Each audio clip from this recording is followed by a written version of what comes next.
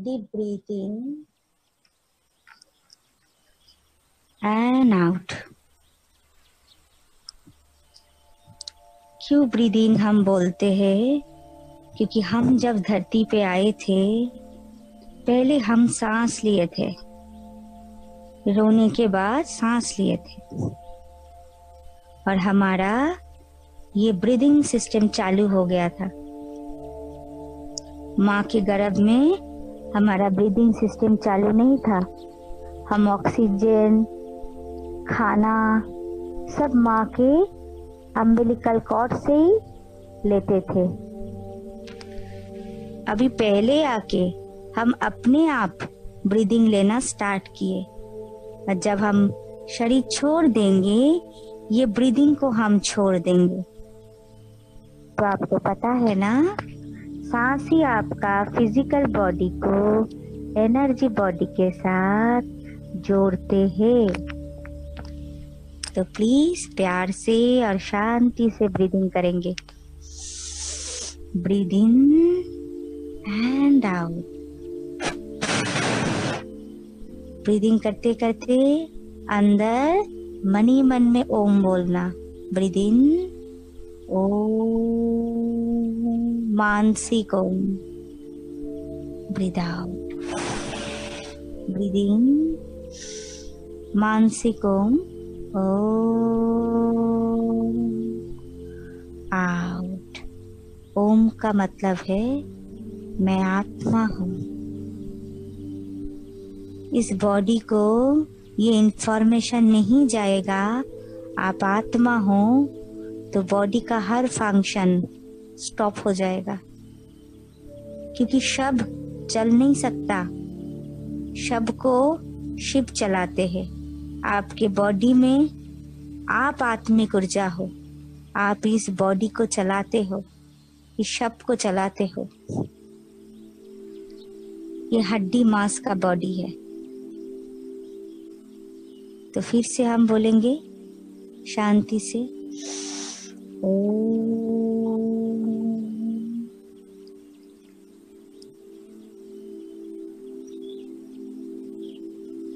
और और मोर मोर रिलैक्सेशन को फील करेंगे। जितना आपका थॉट प्रोसेस स्लो डाउन होगा, उतना आप रिलैक्सेशन में जाएँगे। जितना आप रिलैक्सेशन में जाएँगे, उतना आपका सांसों का गति स्पीड हल्का होने लगेगा। क्वालिटी साँसें होगा क्वांटिटी कम होगा। क्वालिटी थॉट होगा क्वांटिटी कम होगा। वो सांसों को देखिए। क्वालिटी साँसें। जितना ऑक्सीजन लेना है, भरपूरता से आ रही है। अभी हम थॉट इतना जल्दी जल्दी करते हैं, इसलिए सांस भी जल्दी जल्दी होता है। क्योंकि हमारा सोल एनर्जी को हर कोई फॉलो करता है बॉडी का। पता है ना आपको?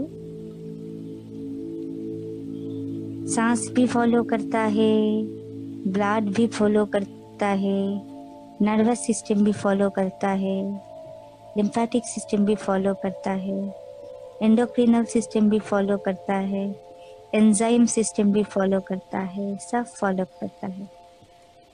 तो आप सांस को जितना धीरे लेंगे, ये सब धीरे हो जाएगा। ऐसा नहीं स्लो हो जाएगा। बैलेंस हो जाएगा। नॉर्मल हो जाएगा। आप जो बीटा लेवल में आपके थॉट को दौड़ा रही हो, ये बीटा लेवल में सांस दौड़ नहीं सकता। सांस फूल जाएगा।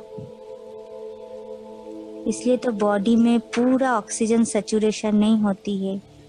हर सेल को ऑक्सीजन नहीं जाता है। ये कारण है। तो आप जितना सुंदर सांस लेंगे, धीरे धीरे शांति से उतना अच्छे से ऑक्सीजन फ्लो होगा हर एक सेल में। रिजुविनेट होगा रिवाइव होगा। शॉर्ट ब्रीदिंग हर एक सेल को धीरे धीरे डेड कर रही है। और हमारा ग्रोथ को बंद कर रहा है। कहीं भी जगह पे सुंदर ग्रोथ तो रेगुलर होना चाहिए ना? पुराने चीज़ खत्म होकर नए चीज़ तो बनना चाहिए ना? ये एक रिसाइकल प्रोसेस है ना? बॉडी में? तो वो कैसे होएगा? जब हर एक सेल रेजुविनेट होगा। तो आप जितना सुंदर थॉट करेंगे, उतना थॉट क्वालिटी वाला होगा पॉजिटिव वाला होगा प्रोडक्टिव होगा पावरफुल होगा। और आपका सांस भी उसके, उसको कॉपी करेंगे। उतना सांस धीरे धीरे होगा। इसलिए खुद को आत्मा समझो। सोल समझो, पावर हाउस समझो। इस बॉडी का मालिक। तो आपका बीटा लेवल का थॉट धीरे धीरे अल्फ़ा, थीटा, डेल्टा लेवल में आ जाएगा। है ना? धीरे धीरे धीरे धीरे। जितना प्रोडक्टिव थॉट होगा, उतना थॉट का स्पीड कम होने लगेगा। जितना स्पीड कम होगा, उतना पावरफुल थॉट आता जाएगा, क्योंकि जितना क्वांटिटी कम होगा, उतना क्वालिटी बढ़ता जाएगा। वैसे सांस का भी। शॉर्ट ब्रीदिंग जितना कम होगा, उतना अब लंबे लंबे सांस लेते जाएँगे। Deep breathing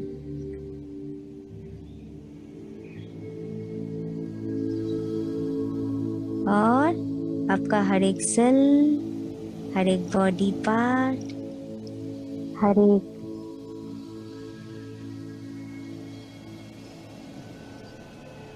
nervous system nerve cell सब रिजुविनेट होता जाएगा। क्योंकि सोल का कर्म है एनर्जी देना। हर सेल का कर्म है। हम आज क्या मेडिटेशन कर रहे हैं? Soul to cell soul to cell energy soul से निकला सेल में जा रही है। ऊर्जा, प्यार लव लाइट ऑक्सीजन हर एक सेल में पहुँच रहा है। विजुअलाइज करो, हर एक सेल के नेगेटिविटी निकल के आपके एक्सक्रिट ऑर्गन में जहाँ से एक्सक्रिएशन होता है जहाँ से निकालते हैं यूरिनरी ब्लडर आपका लार्ज इंटेस्टाइन ये सबसे जो आपका एक्सक्रिएशन होता है, उस जगह पे जाके वो नेगेटिविटी धीरे धीरे आपका बॉडी से निकाल रही है। विजुअलाइज करिए। हर सेल से नेगेटिविटी काला एनर्जी विजुअलाइज कीजिए फील कीजिए. जो आप एफोर्ड नहीं कर सकते आपके बॉडी में, वो नेगेटिविटी निकाल रहे हैं. और कैसे निकाल रहे हैं? आपके आत्मा से एक लेजर बीम व्हाइट लाइट का, हर एक सेल में जा रही है. लेजर बीम व्हाइट लाइट का लेजर बीम हर एक सेल में जा रही है। जिसका जो ऑर्गन में प्रॉब्लम होंगे, वो उस ऑर्गन में फोकस कीजिए प्लीज़ किसी का घुटना, किसी का कमर, किसी का जॉइंट जॉइंट में ज़्यादा प्रॉब्लम होता है बिकॉज़ एक एनर्जी चैनल से दूसरा एनर्जी चैनल के बीच का गैप होते हैं जॉइंट तो उधर ज़्यादा टॉक्सिन जमा हो जाता है। हम्म इसलिए जॉइंट को सब सोचिए जॉइंट को रिलैक्स कीजिए। किसी का भी जॉइंट में पेन है, दर्द है, दुख है तो उस जगह पे एनर्जी को लेते जाइए। आप सबसे बड़ा हीलर हो और हीलर ऑफ़ द हीलर भगवान आपके साथ है। उसको साथी बना के आप हीलिंग प्रोसेस में आए हो। तो अपने हीलिंग पे आप ट्रस्ट करेंगे? करेंगे ट्रस्ट अपने हीलिंग पे? यस आप ट्रस्ट करेंगे।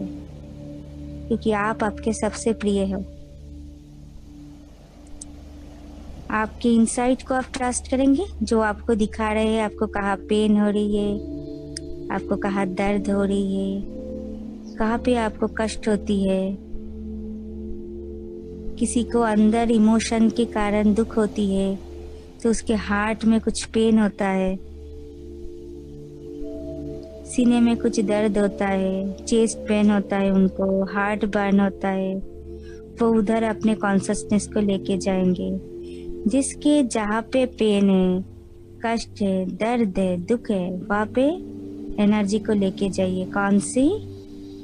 आत्मा से आई हुई white laser beam white golden laser beam वो लेजर बीम आपके एक एक जगह पे जा रही है एक एक सेल पे जा रही है, काला एनर्जी को निकाल रहे हैं। काला एनर्जी को विजुअलाइज कीजिए।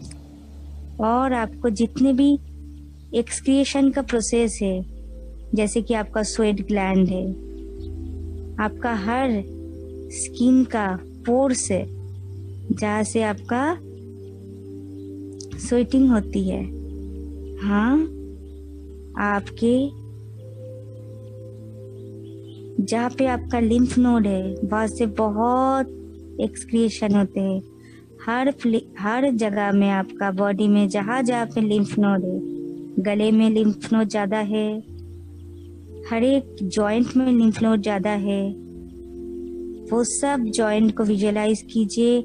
सोचिए, काला एनर्जी लिम्फेटिक सिस्टम के अंदर से बाहर निकल रही है। निकाल दो। या आप नेगेटिव एनर्जी को आपके बॉडी में डिजर्व नहीं करते हो। प्लीज़ आप आपके मालिक हो ना? निकाल दो।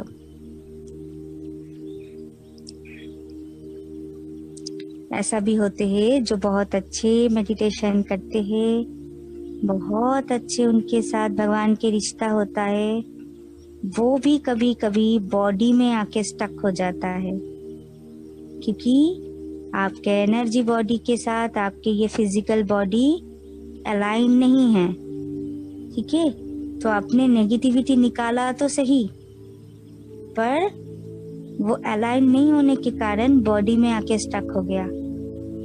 तो भगवान बोलते हैं सुप्रीम बोलते हैं, हर एक जगह से अलग अलग करके निकालो।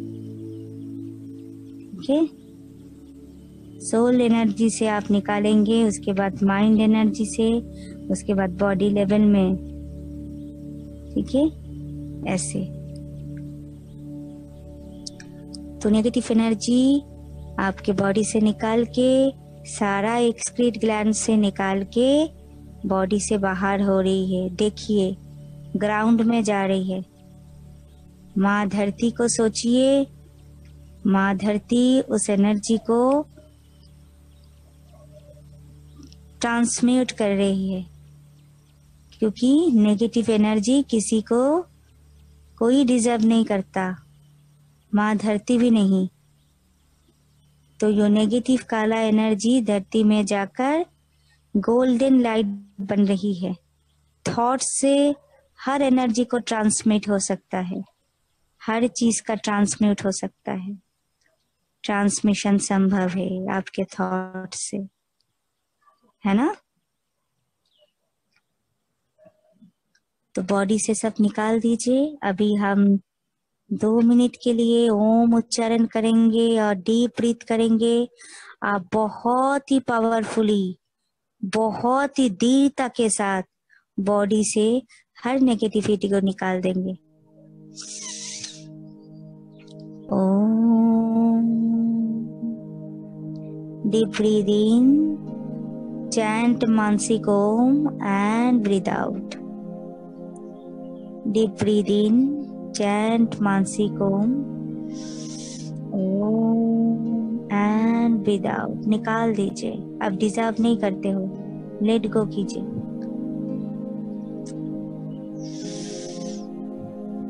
Deep breathe in